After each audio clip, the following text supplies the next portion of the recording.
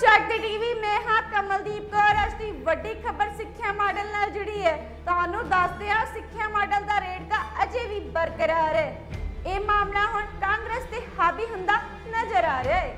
ਜਿਵੇਂ ਕਿ ਬੀਤੇ ਦਿਨੀ ਮਨੀਸ਼ ਸਿਸੋਦੀਆ ਨੇ ਪੰਜਾਬ ਦੇ ਸਕੂਲਾਂ ਦੀ ਸਟੇਟ ਚੰਤਾ ਮੋਰੇ ਰੱਖ ਦਿੱਤੀ। ਉਸ ਦੌਰਾਨ ਪੰਜਾਬ ਸਾਂਸਦ ਰਵਨੀਤ ਬਿੱਟੂ ਨੇ ਆਮ ਆਦਮੀ ਪਾਰਟੀ ਤੇ ਸ਼ਬਦੀ ਹਮਲੇ ਕੀਤੇ ਤੇ ਕਿਹਾ, ਮਨੀਸ਼ ਸਿਸੋਦੀਆ ਜੀ, ਪੰਜਾਬ ਸਰਕਾਰ ਨੇ ਯੋਗੀ ਜੀ ਦੇ ਉਲਟ ਦਿੱਲੀ ਦੀ ਸਰਕਾਰ ਦਾ ਸਵਾਗਤ ਕੀਤਾ ਹੈ ਤੇ ਤੁਹਾਨੂੰ ਸਾਡੇ ਸਾਰੇ ਸਕੂਲਾਂ ਨੂੰ ਦੇਖਣ ਦਾ ਪੂਰਾ ਅਧਿਕਾਰ ਵੀ ਦਿੱਤਾ ਹੈ।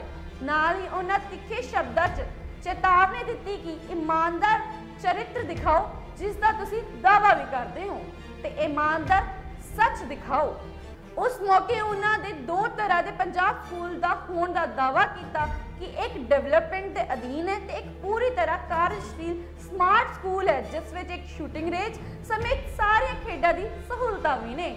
ਤੇ ਦਿੱਲੀ ਦੇ ਸਿੱਖਿਆ ਮੰਤਰੀ ਮਨੀਸ਼ ਸਿਸੋਦੀਆ ਇੰਨਾ ਕਮਜ਼ੋਰ ਕਿਰਦਾਰ ਅਤੇ ਝੂਠ ਕਿਵੇਂ ਦਿਖਾ ਸਕਦੇ ਹੋ?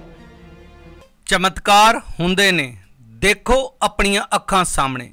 3 ਘੰਟੇ 'ਚ ਹਰ ਪਰੇਸ਼ਾਨੀ ਦਾ ਹੱਲ ਪਾਓ। ਸੱਤ ਇਲਮਾਂ ਦੇ ਮਾਹਿਰ ਦਿਵਾਂਸ਼ੂ ਜੋਸ਼ੀ, ਮੇਰੇ ਕੀਤੇ ਨੂੰ ਕੋਈ ਕੱਟ ਨਹੀਂ ਸਕਦਾ।